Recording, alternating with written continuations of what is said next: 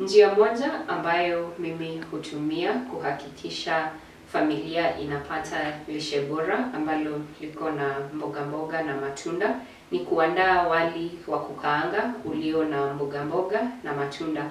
Kama leo hivi ninaandaa wali, wali uko tayari na nina nanasi hapa, nina pilipili hoho, kuna ile ya kijani kibichi, kuna hii nyekundu na kuna hii ya manjano.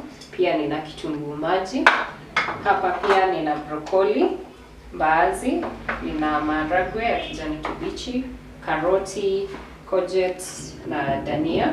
Kisha nina viungo ambavyo nitatumia kitunguu saumu cha unga, kisibiti cha unga pia, dania ya unga na chumvi, alafu tuko na mafuta hapa. Kwa hivyo tutaandaa hiki chakula na unapotumia hiki chakula umehakikisha tayari kuna matunda ambayo ni nanasi na kuna aina tofauti za mboga.